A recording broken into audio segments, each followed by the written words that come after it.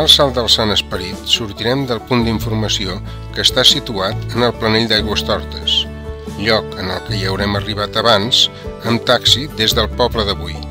Abans de començar el camí, per situar-se, anirem al Tosal del Sant Esperit, que queda al darrere mateix de la caseta d'informació, on hi ha un mirador des del que podrem veure els cims que ens envolten i una preciosa vista fins a l'estany de la Llebreta.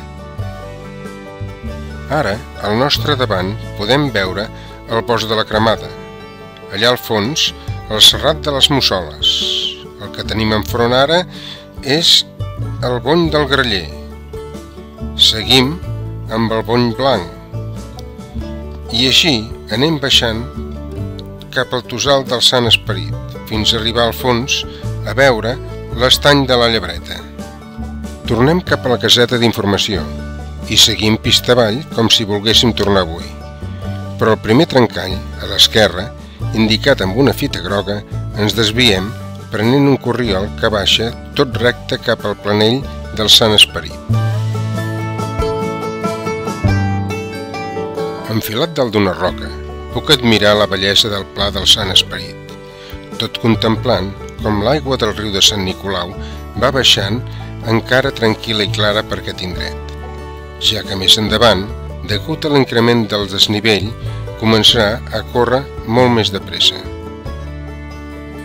Baixem el planell i allà, tot seguint les marques grogues, prenem un ample camí que porta cap a la pista forestal. Però abans d'arribar-hi, a l'esquerra surt un corriol al qual haurem de seguir.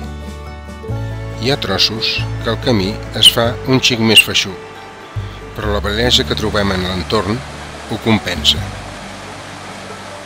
Més endavant arribem a una gran esplanada, on a la seva esquerra, al costat del riu, trobarem la font de la cova del Sardo, però compta amb l'aigua, ja que no està tractada, per prevenció és millor veure la que portem a la cantimplora. Deixem l'esplanada i la front reprenent de nou el camí. I al cap de poc, entremig dels arbres, ja es deixa veure l'estany de la Llebreta, arribant a un punt, sobre una roca, el que n'hi diuen el mirador de l'estany de la Llebreta. Arriba un punt que el corriol pel que anem es troba amb la pista forestal.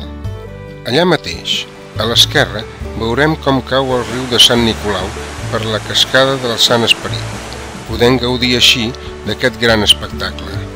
Seguint la carretera, més avall, a l'esquerra, surt un corriol que va cap a un mirador.